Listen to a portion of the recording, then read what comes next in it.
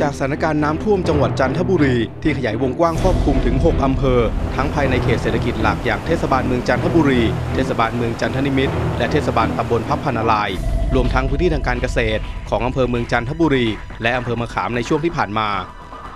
ก็ติดสถานการณ์น้ำท่วมจันทบุรีในปีนี้กันต่อนะครับ ซึ่งหลายพื้นที่ก็ต้องบอกว่าขี้คายลงไปบางส่วนนะครับ ซึ่งในวันนี้สถานีข่าวบริษัทเคเบิลทีวีจันทบุรีนะครับได้รับความร่วมมือจากตำรวจตะเวนชายแดนที่ 11 นะครับอำเภอมะขาม จังหวัดจันทบุรี ค่ายเจ้าพยาบดินเดชานะครับในการขึ้นบินสำรวจนะครับ ตั้งแต่ต้นน้ำกลางน้ำและปลายน้ำนะครับในการออกสู่อ่าวไทย ในและก็เป็นข่าวสำคัญนะครับที่เป็นข่าวลือมาตลอดนะครับถึงเขื่อนทั้งสองเขื่อนว่ามีการปล่อยน้ำลงมา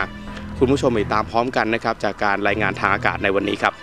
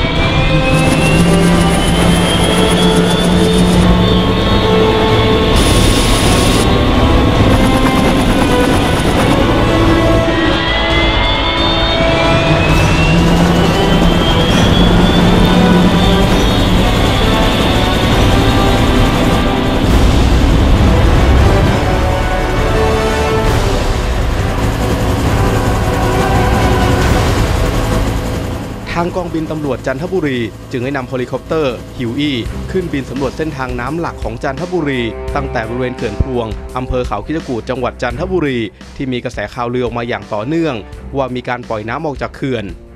ซึ่งจากการสำรวจทางอากาศ พบว่าระดับน้ำยังอยู่ต่ำกว่าสันเขื่อนอย่างมาก และไม่มีการปล่อยน้ำออกมาแต่อย่างใด